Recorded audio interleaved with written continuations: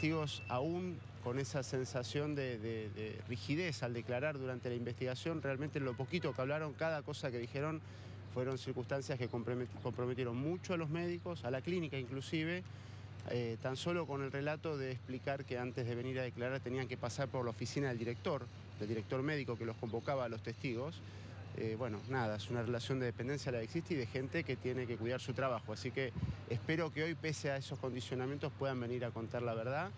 Eh, no esperamos ningún dato revelador de los testigos, lo revelador ya pasó, que son los informes médicos de los peritos y lo que ellos dijeron nos cuenta lo que pasó con el cuerpo de Débora.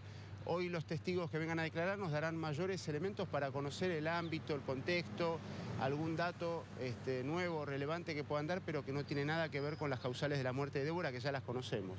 Ahora, son testigos que ya han declarado en instrucción, doctor. Eh, durante esa etapa, ¿advirtieron algún tipo de condicionamiento o bien eh, son personas que trabajan justamente en la institución, en la Trinidad? Eh, ¿Cómo ve esa situación?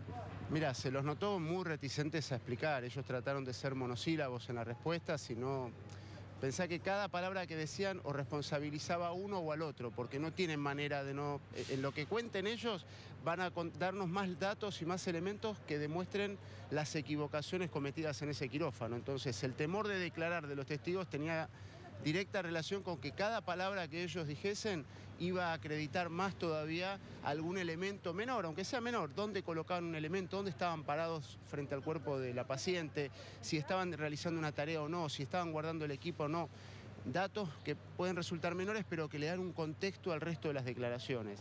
En ese sentido se los ha notado con mucho temor y mucha reticencia de declarar porque cada cosa que decían complicaba a uno u otro. Así que hoy particularmente hay una de las testigos que es la que estuvo en el procedimiento, que es la que va a venir a contar cosas que o complican más al endoscopista o complican más al anestesista en cuanto al procedimiento si te diría formal, material, de, dónde ubicaban los elementos, de cómo estaban dispuestos.